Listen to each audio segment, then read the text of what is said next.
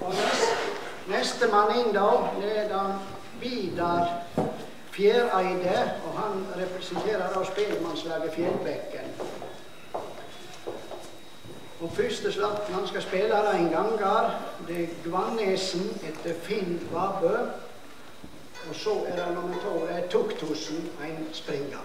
Vær så god.